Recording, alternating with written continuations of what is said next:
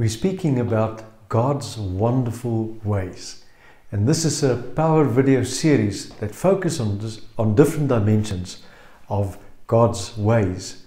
And we're specifically touching on God's way to provision, which we all need. We all need in some other way to be provided for. So let me kick off by reminding you that God is fundamentally a father and a provider to us. And fathers, traditionally speaking, um, that's what they're all about. They're providers. Fathers provide for their families. And God is our Father and He's our provider. And wow, what a provider He is. Um, very important to move on from that to know that God provides for us primarily through Jesus Christ, His Son.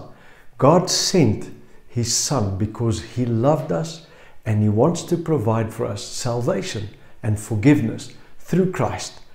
But beyond that, Jesus is actually our door to God's provision, our doorway. And whenever you, you, you read in the New Testament, especially about God's provision, it's always linked to Christ, mostly linked to Jesus. So He is our doorway to God's provision. God provides for us through Jesus Christ. And it's an amazing concept because His provision never fails. When I think of scriptures like Ephesians 4, verse 19, that says, God will provide for our needs, but it's through Christ. Ephesians 1, verse 3, again, that God has blessed us with all spiritual blessings, but it's through Christ or in Christ always.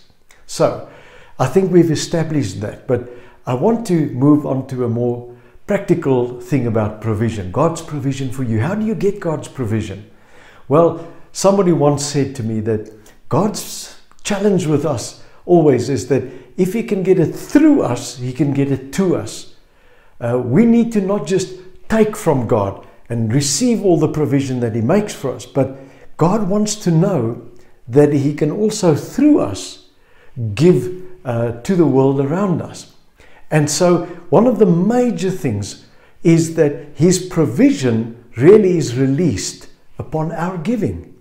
If we are willing not to just kind of be a dam where there's water flowing in but nothing flowing out, that we can be, uh, that there's a flowing through by giving, then God releases His provision much more readily to us. So I'm thinking about Luke 6, verse 38, that, that says, Uh, very, very famous words of Jesus Give and it shall be given to you.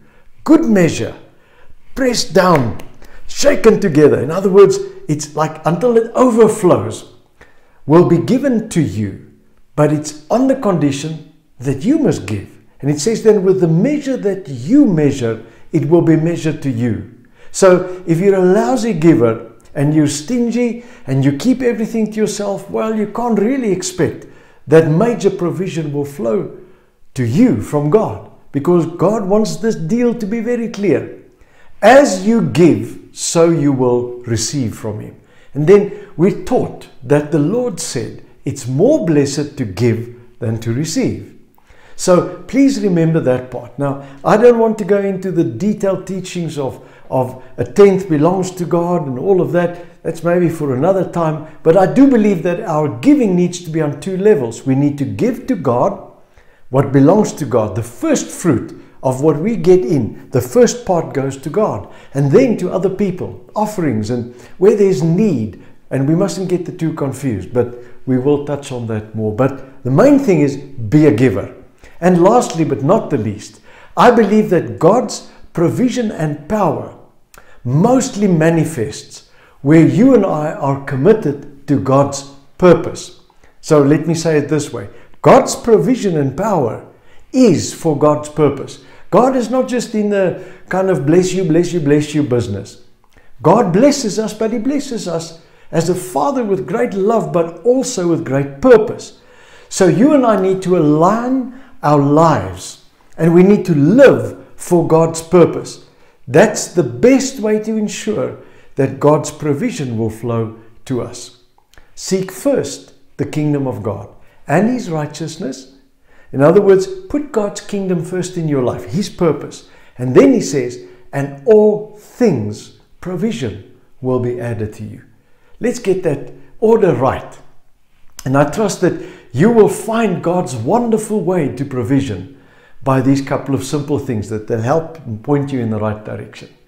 So, Lord, I pray that you will help us to be practitioners of your word. Firstly, we'll live in a gratefulness of Christ's uh, provision for us that you've made, uh, uh, made available to us, Lord, that we live in the richness of that, that through Christ you've provided everything for us. But also, Lord, that we will be givers, committed givers, giving to you, giving to others, and lastly, that we'll line up our lives with your purpose so that your provision can come to fulfill your purpose. Lord, I pray that your blessing will rest on everyone and the insight for provision. In Jesus' name. Amen.